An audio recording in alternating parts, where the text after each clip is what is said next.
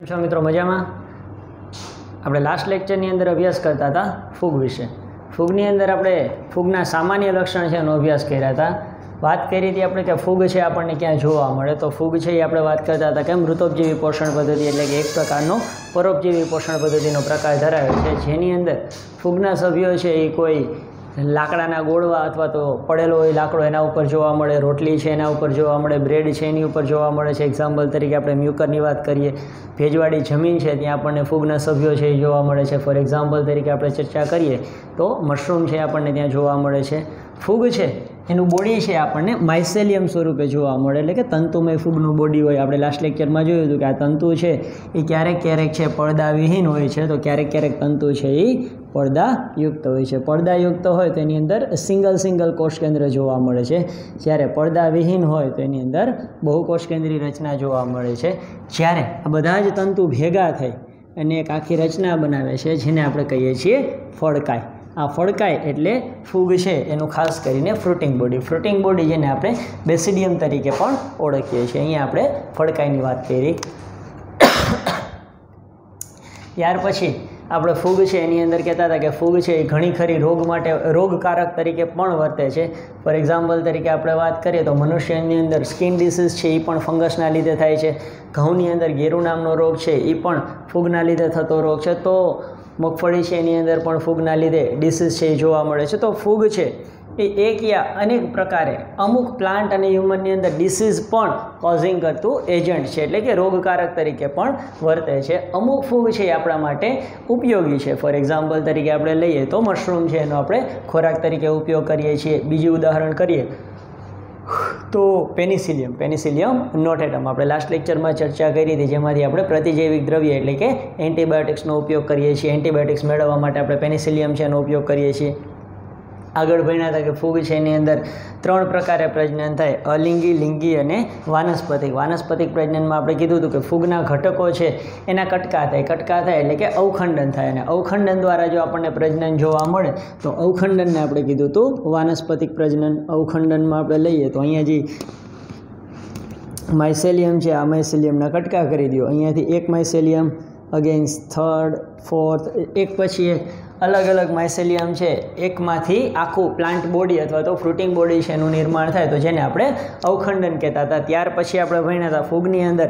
બીજાણુ છે, અલગ અલગ પ્રકારના બીજાણુ દ્વારા પણ આપણને લિંગ, અલિંગી પ્રજનન છે જોવા મળ્યું હતું. ફોર એક્ઝામ્પલ તરીકે આપણે વાત કરીએ તો કણી બીજાણુ, ધાની બીજાણુ પછી અંડ બીજાણુની આપણે વાત કરી હતી, ત્યાર પછી આપણે ચર્ચા કરતા હતા કે પ્રકણી બીજાણુ, આ અલગ અલગ પ્રકારના જે બીજાણુ હતા, એના દ્વારા આપણને ફૂગમાં અલિંગી પ્રજનન છે જોવા મળતું હતું. જેમાંથી થોડા એવા બીજાણુ છે એ અંતર્જાત હતા, તો કોઈ કોઈ બીજાણુ બહિર્જાત પણ હતા.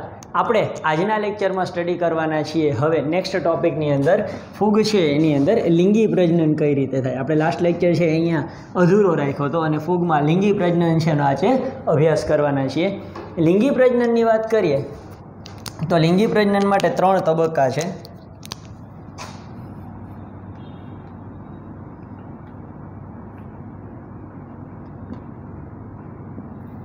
સૃષ્ટિ ફૂગ. અને ફૂગની અંદર આપણે ટોપિક સ્ટડી કરતા હતા, લિંગી પ્રજનન.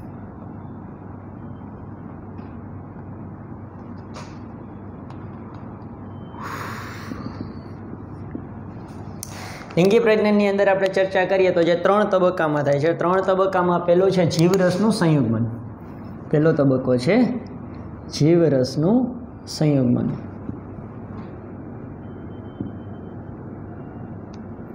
બીજો તબક્કો છે જેમાં કોષ કેન્દ્ર જોડાય છે, જેને આપણે કોષ કેન્દ્રના સંયુગમન તરીકે ઓળખીએ છીએ.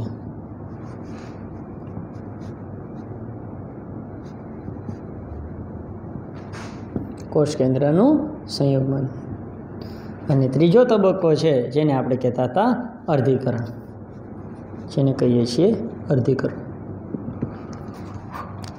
ચર્ચા કરીએ આપણે પહેલો તબક્કો એટલે કે જીવરસનું સંયોગમન જીવરસનું સંયોગમન શું છે? જીવરસનું સંયોગમન અભ્યાસ કરતાં પહેલાં તમને ખબર હોવી જોઈએ કે કોષ છે એની અંદર જીવરસ શું છે. આપણે વાત કરીએ તો અહીંયા આપણી પાસે એક સેલ છે, ત્યાર પછી બીજો કોષ છે. આખે આખું એનું માઇસેલિયમ છે. માઇસેલિયમ એટલે કે તંતુ. અહીંયા ફૂગ છે, એનું તંતુ છે અને આ ફૂગના તંતુની અંદર અહીંયા કોષ કેન્દ્ર છે. અહીંયા એની પાસે જીવરસ આવેલો છે. અહીંયા આપણે વાત કરીએ તો એની પાસે એ નાની એવી રસધાની આવેલી છે. એની અંદર આપણે ચર્ચા કરીએ તો કણાપસૂત્ર આવેલા છે. મતલબ કે એક કરતાં વધારે અથવા તો અલગ અલગ અંગિકા આપણને આવેલી ત્યાં જોવા મળે છે. ખોરાક છે એનો સંગ્રહ ફ્રૂટિંગ ઓઇલ ડ્રોપલેટના ફોર્મમાં થાય છે. તો અહીંયા ઓઇલ ડ્રોપલેટ્સ પણ પ્રેઝન્સ છે. તો આ બધી જ વસ્તુની આપણે ચર્ચા કરી. સેમ એવી જ રીતે અહીંયા કોષ કેન્દ્ર છે. અહીંયા કણાપસૂત્ર આવેલા છે. આગળ વાત કરીએ તો કોષ કેન્દ્રની બાજુમાં રિબોઝોમ છે, અંતકોષરસ ઝાડ આવેલી છે. ત્યાર પછી અહીંયા તમને કોષરસ છે, એની હાજરી જોવા મળે છે. ઇન શોર્ટ સુકોષ કેન્દ્રી કોષ છે, અહીંયા આપણને જોવા મળે છે. હવે, આ બે કોષ છે વેલ ડેવલપ કન્ડિશનમાં છે. હવે શું થાય? તો કે જ્યારે પહેલો તબક્કો આવે છે જીવરસનું સંયુગમન ત્યારે આ બે કોષ કેન્દ્રની વચ્ચે જે પડદો હતો, આ પડદાની અંદર માઇનોર એવું, નાનું એવું છિદ્ર બને. છિદ્ર બને એટલે ઉપરથી જેટલું પણ મટીરિયલ છે, આ બધું જ મટીરિયલ ટ્રાન્સફર થઈ અને એની નીચેના કોષની અંદર શિફ્ટ થાય. એક્ઝામ્પલ તરીકે આપણે અહીંયા ચર્ચા કરીએ, તો અહીંયા આપણી પાસે એક સંયુગ્મન કેનાલનું નિર્માણ થયું છે. એના માટે આપણે શબ્દ વાપરીએ છીએ સંયુગ્મન કેનાલ. આ સંયુગ્મન કેનાલ બેની આ સંયુગ્મન કેનાલ બને એટલે શું થાય કે વચ્ચેના ભાગે તમને એક નાનું છિદ્ર જોવા મળ્યું. તો હવે અહીંયા જે કોષ કેન્દ્ર હતો, આ કોષ કેન્દ્ર ઉપરથી નીચેની બાજુ ટ્રાન્સફર થયો. આવી ગયું કોષ કેન્દ્ર. ઉપરનો જે કોષ હતો, એનું તો કે હા, ઉપરથી જે કોષ હતો, એનું પણ કોષ કેન્દ્ર અહીંયા આવી ગયું. બેયના કોષ કેન્દ્ર આવી ગયા. એ બેયની સાથે જેટલો પણ જીવરસ હતો, જીવરસ એટલે કે કોષ રસ પ્લસ એની અંદર આવેલા દરેકે દરેક અંગિકા એ બધી જ વસ્તુ છે આની અંદર ટ્રાન્સફર થઈ ગઈ. તો અહીંયા બંનેના જીવરસ આપણને ટ્રાન્સફર થતા જોવા મળ્યા. એટલે કે ઉપરનો જીવરસ છે એ નીચેના કોષની અંદર ટ્રાન્સફર થયો, જેને આપણે કહીએ છીએ જીવરસનું સંયુગ્મન. તો જીવરસનું સંયુગ્મન થાય એની અંદર એ ચલિત કે અચલિત જન્યુના જોડાણ દ્વારા શક્ય છે. મતલબ કે જો અહીંયાથી આ સેલ છે એની અંદરનું બધું જ મટીરિયલ છે એ એક જન્યુમાં કન્વર્ટ થઈ જાય. એ બધું જ શેમાં કન્વર્ટ થઈ જાય? જન્યુમાં. ફોર એક્ઝામ્પલ તરીકે, આ સેલ છે, આ સમજાયું એ અચલિત હતું. આ સેલ છે, એની અંદર બધું જ ભેગું થઈને આવી રીતે એક જન્યુ બનાવે. અને ત્યાર પછી અહીંયા કેનાલનું નિર્માણ થાય અને આ જન્યુ છે, એ અહીંયાથી નીચેની બાજુ ટ્રાન્સફર થાય અને નીચે પણ જન્યુ બને. તો નીચેની બાજુ તમને બે જન્યુ જોવા મળ્યા. હવે આ બે છે એની પાસે પોતપોતાના કોષ કેન્દ્ર હોય તો આ વસ્તુ સમજાવી જેને આપણે કહીએ છીએ જન્યુનું નિર્માણ થાય અને આ જન્યુ છે એ મૂવમેન્ટ કરે, એટલે કે ચલન કરે, ઉપરથી નીચેની બાજુ ટ્રાન્સફર થાય. તો આ રીતે આપણને આખે આખું એક સંયુગમન જોવા મળ્યું. જેની અંદર બે કોષ છે, એની વચ્ચે આપણને સંયુગ્મન જોવા મળે. તો જેને આપણે કહીએ છીએ જીવરસનું સંયુગમન. જીવરસનું સંયુગમન થયું, ત્યારે ઉપરનો કોષ છે એ ખાલી થઈ જાય. કોષ ખાલી થઈ ગયો. અથવા તો ખાલી કોષ કેવો હોય તો કહી શકાય. આ કોષ ખાલી થાય ત્યાર પછીનો જે બીજો તબક્કો હતો જેને આપણે કહેતા હતા કોષ કેન્દ્રનું સંયુગમન. સેકન્ડ તબક્કો છે કોષ કેન્દ્રનું સંયુગમન. કોષ કેન્દ્રના સંયુગમનની અંદર ઉપરનો કોષ અહીંયા નથી દોરતું. આ બે જે કોષ કેન્દ્ર છે એકબીજાની બાજુ બાજુમાં આવે. અહીંયા એન અહીંયા એન તો આ બે કોષ કેન્દ્ર બાજુમાં આવી અને થઈ જાય ટુ એન બે કોષ બાજુમાં આવે ને થઈ જાય ટુ એન તો અહીંયા કોષ કેન્દ્રનું સંયુગમન થયું કોષ કેન્દ્રનું સંયુગમન થયું અને જીવરસ છે બધો જોડાઈ ગયો. હવે આ આખે આખો સેલ છે, જો એની આપણે ચર્ચા કરીએ તો આખે આખો સેલ છે એ દ્વિકીય કોષ કેન્દ્ર ધરાવે છે, જે ટુ એન પ્રકારનો છે. આ ટુ એન વાળો કોષ છે એ હવે કરે અર્ધીકરણ. હવે કરે અર્ધીકરણ. એટલે આ પહેલો તબક્કો થયો. આ બીજો તબક્કો થયો અને ત્રીજા તબક્કાની અંદર થશે અર્ધીકરણ. અર્ધીકરણ થાય એટલે એક સેલ છે એમાંથી ચાર જન્યુ છે એનું નિર્માણ ચાર બીજાણુ છે એનું નિર્માણ થાય. એટલે કે આ એક સેલ છે એમાંથી આપણને ચાર બીજાણુનું નિર્માણ જોવા મળે. આને આપણે કહીએ છીએ અર્ધીકરણ. આ ચારે ચાર બીજાણુ હવે હોય એકકીય. અને આ એકકીય બીજાણુ છે એ જ્યારે પણ જમીન ઉપર કે કોઈ ભેજવાળી જગ્યાએ પડે ત્યાં જઈ અને નવા દેહનું નિર્માણ કરે અથવા તો નવા માઇસેલિયમનું નિર્માણ કરે. આ માઇસેલિયમ છે એ પડદાયુક્ત પણ હોઈ શકે અને પડદા વિહીન પણ હોઈ શકે. એ ડિપેન્ડ છે કે કઈ સ્પીસીસ છે એની અંદર તમને જોવા મળે છે. તો અહીંયા તમારા ત્રણે ત્રણ સ્ટેપ છે એ તમને જોવા મળ્યા. પહેલા સ્ટેપની અંદર આપણે ચર્ચા કરી જીવરસનું સંયુગમન. જીવરસનું સંયુગમન થાય ત્યારે શું થાય તો કે જીવરસના સંયુગ્મન સમયે ચલિત કે અચલિત બીજાણુ છે એનું નિર્માણ થાય. ચલિત કે અચલિત બીજાણુ નિર્માણ પામે અને નીચેની બાજુ ટ્રાન્સફર થાય અને નીચેની બાજુ ટ્રાન્સફર થાય અને જન્યુ વચ્ચે જોડાણ થાય.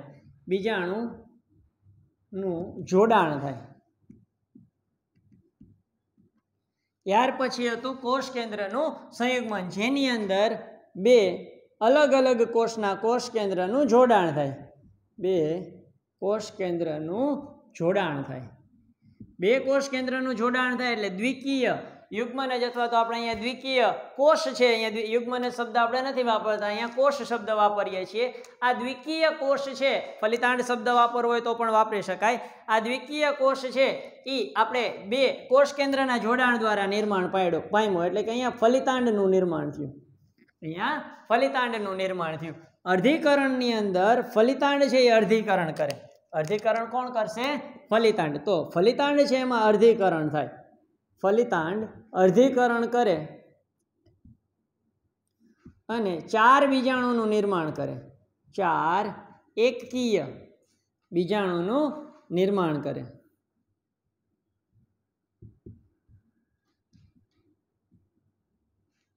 અને આ ચારે ચાર એકકીય બીજાણુ છે, એ આગળ જઈ અને નવા વનસ્પતિ દેહનું નિર્માણ કરે. એકકીય બીજાણુ અનુકૂળ પરિસ્થિતિ મળતા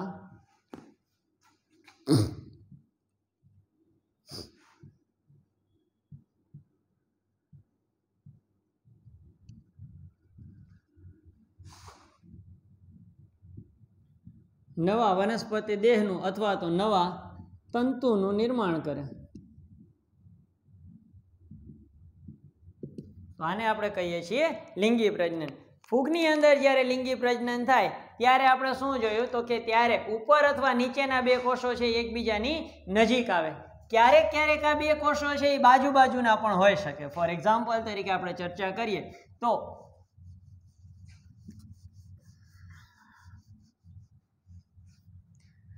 અહીંયા આપણી પાસે એક માઇસેલિયમ છે. અહીંયા આપણે વાત કરીએ તો આ પહેલાં સેલનું એક માઇસેલિયમ છે. આની બાજુમાં અહીંયા બીજું માઇસેલિયમ છે. માઇસેલિયમ એટલે તંતુ, જે લાસ્ટ લેક્ચરમાં સોરી લાસ્ટ હમણાં બે મિનિટ પહેલાં આપણે ચર્ચા કરી. આ માઇસેલિયમ છે, એ એકબીજાની બાજુ બાજુમાં આવે. એટલે કે આ એકબીજાની નજીક આવે. એટલે આ પહેલાં સ્ટેપમાં છે અહીંયા. સેકન્ડ સ્ટેપની અંદર અને બીજું છે, એની નજીક આવે. બે એકબીજાની બાજુ બાજુમાં આવે. બાજુમાં આવે, ત્યાર પછી આ વચ્ચેનો જે પડદો હોય, આ પડદો અદ્રશ્ય થાય. અદ્રશ્ય થાય અને બેની અંદર જે કોષ રસ હોય, એ જોડાય. કોષ રસ જોડાય અને આ કોષ છે એ દ્વિકીય બને. આવું એક જ કોષમાં થાય એવું નથી હોતું.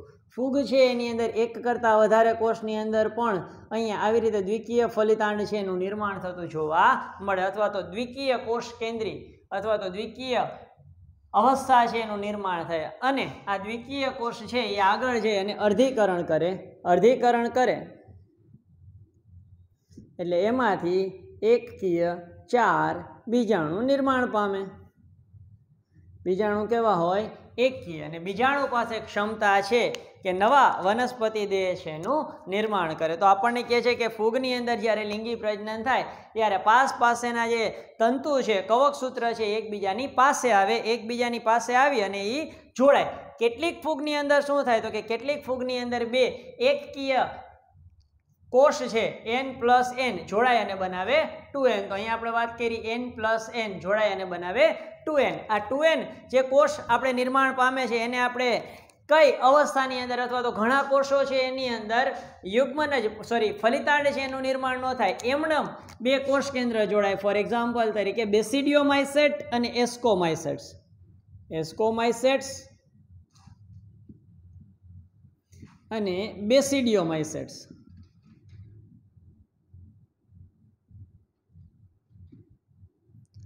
આ બે ફૂગના ક્લાસ છે. આ બેયની અંદર એકકીય બે કોષ કેન્દ્ર બાજુ બાજુમાં આવેલા હોય. એક જ કોષની અંદર બે કોષ કેન્દ્ર હોય એટલે એને ડાયકેરિયોન તરીકે ઓળખીએ છીએ આપણે. આ ડાયકેરિયોન અથવા તો ડાયકેરિયોટિક માઇસેલિયમ, જેને આપણે કહીએ છીએ દ્વિકોષ કેન્દ્રી તંતુ અથવા તો દ્વિકોષ કેન્દ્રી કવક તંતુ, ડાયકેરિયોટિક માઇસેલિયમ. આની અંદર આ બે કોષ કેન્દ્ર જોડાય અને કોઈ અવસ્થાએ ભેગા થઈ અને દ્વિકીય કોષ છે એનું નિર્માણ કરે, દ્વિકીય કોષ કેન્દ્રનું નિર્માણ કરે. આ દ્વિકીય કોષ કેન્દ્રીય અવસ્થા જ્યારે આવે, આ બે કોષ કેન્દ્ર ભેગા થયા, તો આને આપણે કહીએ છીએ દ્વિકીય કોષ કેન્દ્રી અવસ્થા.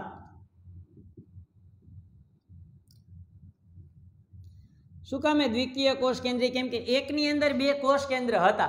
દ્વિકીય કોષ કેન્દ્રી, બે કોષ કેન્દ્રી હતી, હવે બે કોષ કેન્દ્ર ભેગા થયા. કોષ તો એક જ હતો એમાં બે કોષ કેન્દ્ર હતા એ ભેગા થયા એટલે એને આપણે દ્વિકીય કોષ કેન્દ્રીય અવસ્થા કહીએ છીએ, જેમાં દ્વિકીય કોષ કેન્દ્ર બને અને ત્યારબાદ અગાઉ ઉપર જણાવ્યું એ જ પ્રમાણે અર્ધીકરણ થાય, અર્ધીકરણ થઈ અને ચાર એકકીય બીજાણું નિર્માણ પામે.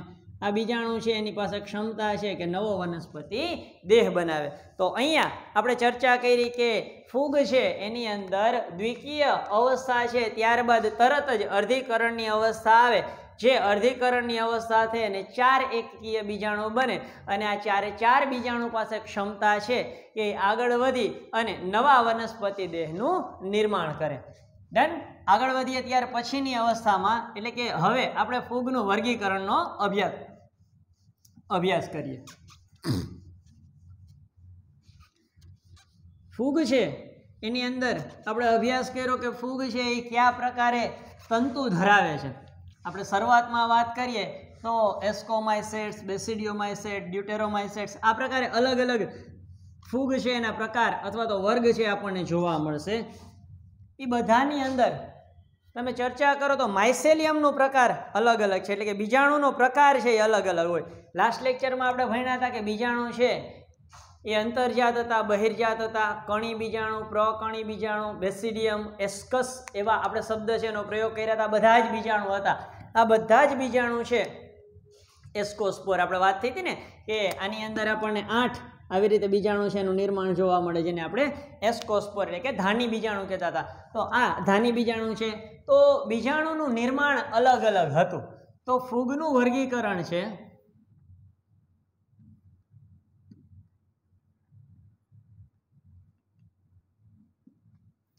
ફૂગનું વર્ગીકરણ છે એ ક્યાં ક્યાં પોઈન્ટ્સ છે એને ધ્યાનમાં રાખીને થાય છે.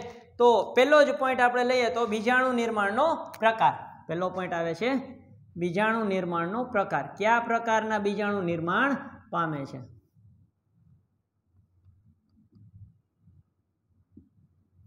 બધાની અંદર ફળકાય પણ અલગ અલગ છે. તો આની અંદર આપણને ફળકાઈનું નિર્માણ કઈ રીતે થાય? એ પણ મેઇન વસ્તુ છે તો કે ફળકાઈના નિર્માણ પર પણ આધાર રાખે છે.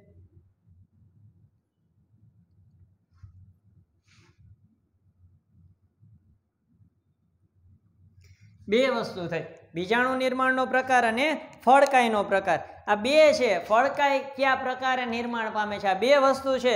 એને ફોકસ કરી અને આપણે ફૂગ છે એનું વર્ગીકરણ છે, એનો અભ્યાસ કરીએ. તો ફૂગનું વર્ગીકરણ છે એને આપણે ચાર વર્ગમાં વિભાજિત કરીએ છીએ. પહેલો વર્ગ જો આપણે લઈએ તો પહેલો છે ફાઇકોમાઇસર્સ. આ બંનેના આધારે ફૂગ છે એ ચાર કેટેગરીમાં ડિવાઈડ થાય છે. પહેલું છે ફાઇકોમાઇસર્સ.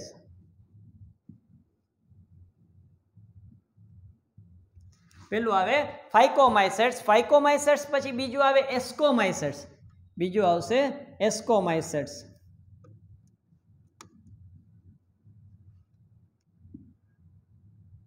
એસ્કોમાઇસેટ્સ પછી ત્રીજા નંબરે આવશે બેસિડિયોમાઇસેટ્સ ત્રીજા નંબરે આવશે બેસિડિયોમાઇસેટ્સ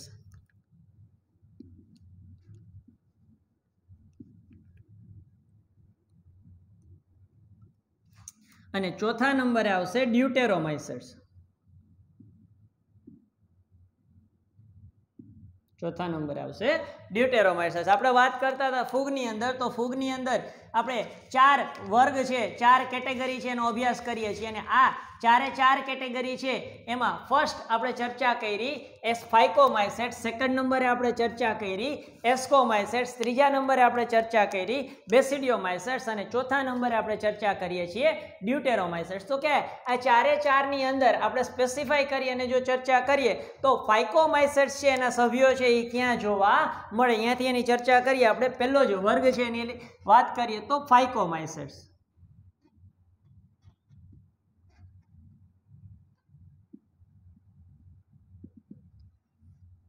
ફાઇકોમાઇસેટ્સના સભ્ય છે, એ તમને પાણીની અંદર પણ જોવા મળે છે, ભેજવાળી જગ્યાએ પણ જોવા મળે છે અને કોઈ ડેડ મટીરિયલ છે, એટલે કે રોટલીને એવું કંઈ પડ્યું હોય તો એની ઉપર પણ જોવા મળે છે. તો આપણે વાત કરીએ ફાઇકોમાઇસેટ્સ પાણી પર પણ જોવા મળે છે. ભેજવાળી જગ્યાએ તથા હુંફાળી જગ્યાએ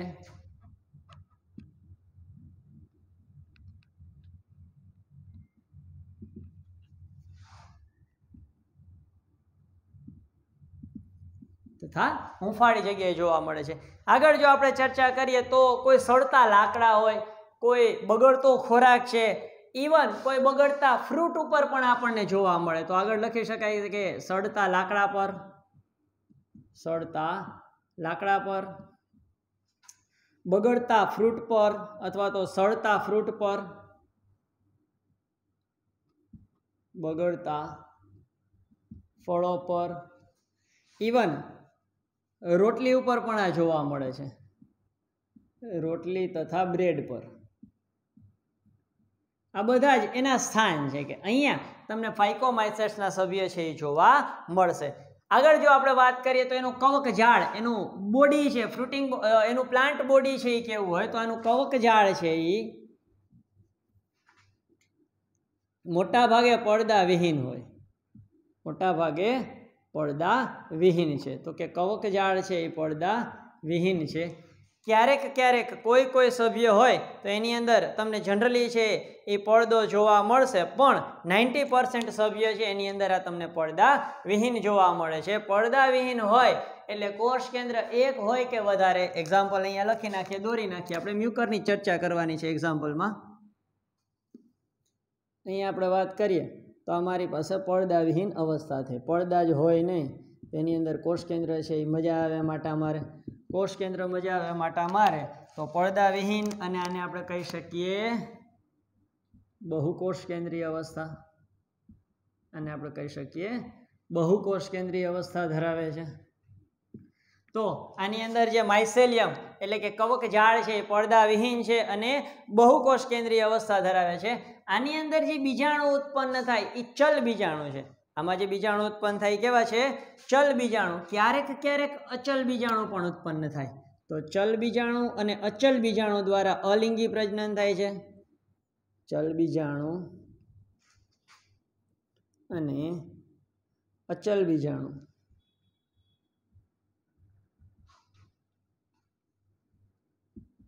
દ્વારા અલિંગી પ્રજનન થાય છે. ચલ બીજાણુ હોય તો એની પાસે કોઈ લોકોમોશનના સાધન આવેલા હોય એટલે કે કશા આવેલી હોય, જ્યારે અચલ બીજાણુ હોય તો એની પાસે કોઈ કશા આવેલી હોતી નથી. જ્યારે આગળ આપણે વાત કરીએ તો આ બે બીજાણુ છે. એ અલિંગી પ્રજનનની સાથે સાથે લિંગી પ્રજનનમાં પણ મદદ કરે છે. એટલે આ બે બીજાણુ છે, લિંગી પ્રજનનમાં પણ મદદ કરશે. તો કે કઈ રીતે આમાં લિંગી પ્રજનન થાય? તો એક્ઝામ્પલ તરીકે આપણે આ એક તંતુ હતું, એની બાજુમાં અહીંયા આપણે બીજા તંતુની વાત કરીએ. તો આની અંદર પણ અહીંયા એના કોષ કેન્દ્ર આવેલા હોય. અને આ કોષ કેન્દ્રમાં એક કોષ કેન્દ્ર બીજા કોષ કેન્દ્રની સાથે સંયુગ્મન કરે અને અહીંયા થાય દ્વિકીય અવસ્થા. આ દ્વિકીય અવસ્થા પછી થાય અર્ધિકરણ તો જેને આપણે કહીએ છીએ ચલ બીજાણુ સોરી ચલ અથવા તો અચલ બીજાણુ દ્વારા થતું લિંગી પ્રજનન. આની અંદર જો આપણે વાત કરીએ તો અલિંગી પ્રજનન, ખાસ કરીને આમાં વાત કરીએ તો પ્રજનન છે એ બે પ્રકારના છે. મેઇન પ્રજનન, આની અંદર આપણને જોવા મળશે કટકા થઈ અને નવો વનસ્પતિ દેહ બનાવે. એટલે કે આપણે ચર્ચા કરીએ તો જેમાં સ્પેસિફાઈ ફ્રેગમેન્ટેશન જેને આપણે કહીએ છીએ ફ્રેગમેન્ટેશન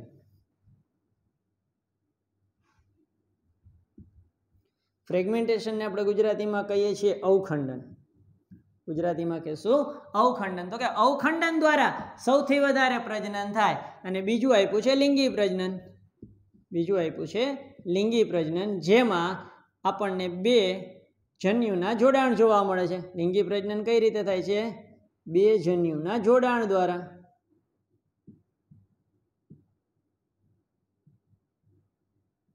બે જન્યુના જોડાણ દ્વારા તમને લિંગી પ્રજનન છે એ જોવા મળે છે. બે જન્યુના જોડાણ થાય તો કે આ બે જન્યુ ક્યાં ઉત્પન્ન થાય છે? બહારની બાજુ કે અંદરની બાજુ? તો હમણાં જ અહીંયા દોર્યું એ પ્રમાણે આ જન્યુ છે એ તો દેહની અંદર છે. જન્યુ છે એ દેહની અંદર છે. તો અહીંયા લિંગી પ્રજનનમાં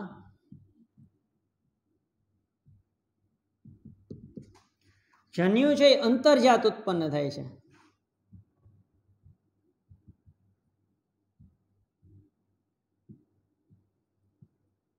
અંતર્જાત એટલે દેહની અંદર. તો અહીંયા આપણે સિમ્પલ લેંગ્વેજમાં વાત કરીએ તો આપણી પાસે આ એક માઇસેલિયમ અને બીજું માઇસેલિયમ છે. અહીંયા એક કોષ કેન્દ્ર છે, એમ ચર્ચા કરીએ તો આ કોષ કેન્દ્રમાં જન્યુ અંદરની બાજુ ઉત્પન્ન થયો. સેકન્ડ સેકન્ડની અંદર અહીંયા આપણને બીજો જન્યુ ઉત્પન્ન થતો જોવા મળે અને આ બે જન્યુ છે, એ નજીક આવી જોડાય અને અહીંયા દ્વિકીય અવસ્થા જોવા મળે. તો આને આપણે યુગ્મનજ અથવા તો ફલિતાંડ કહીએ છીએ. દ્વિકીયની જગ્યાએ આપણે ફલિતાંડ પણ લખવું હોય તો લખી શકાય. તો બે અંતર્જાત જન્યુ. અંતર્જાત શું કામે કીધા છે? કેમ કે દેહની અંદર ઉત્પન્ન થાય છે. તો કે બે, અંતરજાત જન્યુના જોડાણથી યુગ્મ બીજાણુ, અથવા તો આપણે કહીએ છીએ ઝાયગોસ્પોર. બે, અંતરજાત જન્યુના જોડાણથી યુગ્મ બીજાણુનું નિર્માણ થાય. બે જન્યુ અંતરજાત ઉત્પન્ન થાય છે. બે, અંતરજાત જન્યુના જોડાણ દ્વારા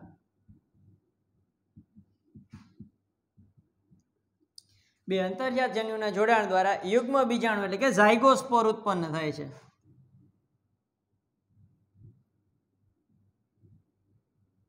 હા, ફલિતાંડ લખ્યું છે. અહીંયા આપણે યુગ્મ બીજાણુ શબ્દ પણ લખીએ છીએ.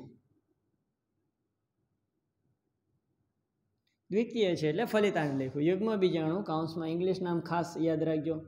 ઝાયગોસ્પોરનું નિર્માણ થાય છે.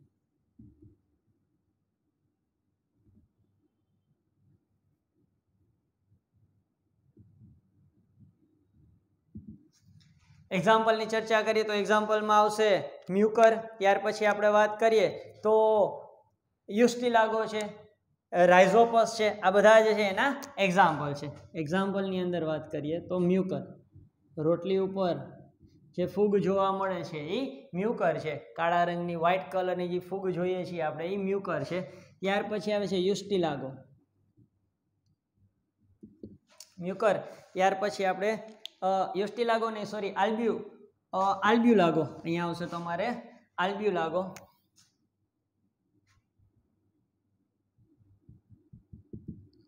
રાઇઝોપસ. મોસ્ટ એમપી નામ છે રાઇઝોપસ અને મ્યુકર. રાઇઝોપસ છે એ બ્રેડ મોલ્ડ તરીકે પણ ઓળખાય છે. રાઇઝોપસનું બીજું નામ છે બ્રેડ મોલ્ડ.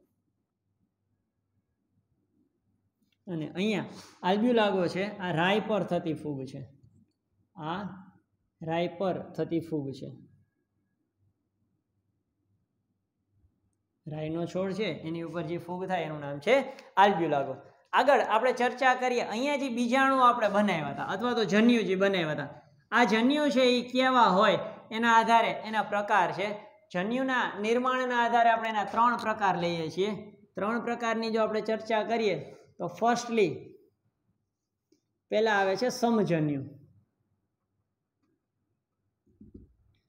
જો જન્યુ છે, એ બાહ્યાકારમાં દેખાવમાં જન્યુ, બાહ્યાકાર રીતે સમાન હોય. જન્યુ. બાહ્યાકાર રીતે સમાન હોય. તો એને સમજન્યુ કહેવાય. બીજા આવે છે વિષમજન્યુ વિષમજન્યુ છે એ બાહ્યાકાર રીતે સમાન નથી. સમજન્યુમાં આપણે ચર્ચા કરીએ તો આ એક અને આ બે. તમને ખબર જ નથી પડતી ક્યુ નર છે અને ક્યુ માદા છે. તો ખાસ યાદ રાખજો, જ્યારે સમજન્યુ હોય ને ત્યારે સિમ્બોલ વપરાય માઇનસ અને પ્લસ. ત્યારે સિમ્બોલ વપરાય માઇનસ અને પ્લસ. માઇનસ છે એ માદા માટે વપરાય છે અને પ્લસ છે એ નર માટે વપરાતો સિમ્બોલ છે. ત્યાર પછી આવે છે વિષમજન્યુ. વિષમજન્યુમાં જન્યુ છે એ બાહ્યાકાર રીતે અસમાન હોય, એટલે કે એક નાનો હોય અને એક મોટો હોય.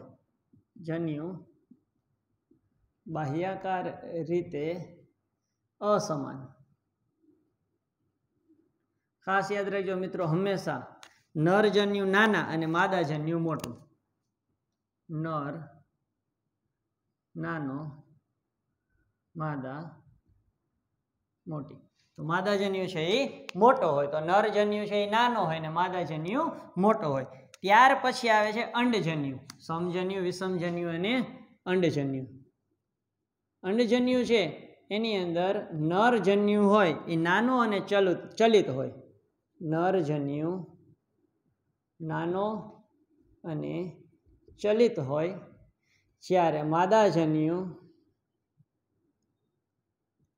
મોટો અને અચલિત હોય. સિમ્પલ લેંગ્વેજમાં કહીએ તો છોકરી જોવા હંમેશા છોકરો જાય. માદાજન્યુ છે એ છોકરી ઘરે હોય. ફોર એક્ઝામ્પલ તરીકે નરજન્યુ છે એ ચલિત છે, ગાડી લઈને જાય.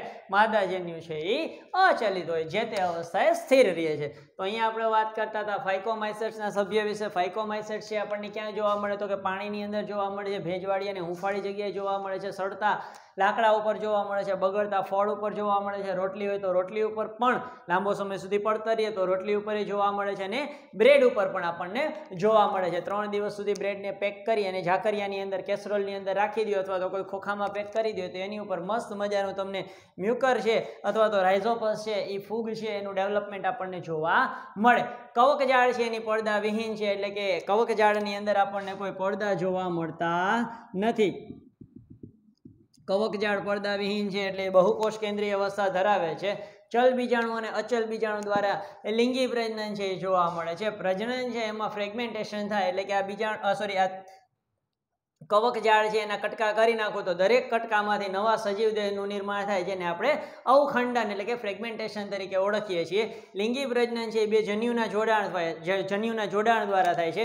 આ જન્યુ છે એ દેહની અંદરની બાજુ ઉત્પન્ન થાય એટલે એને અંતર્જાત જન્યુ તરીકે ઓળખવામાં આવે છે. બે અંતર્જાત જન્યુના જોડાણ દ્વારા યુગ્મનજ અથવા તો યુગ્મ બીજાણુ જેને આપણે ઝાયગોસ્પોર કહીએ છીએ એનું નિર્માણ થાય છે.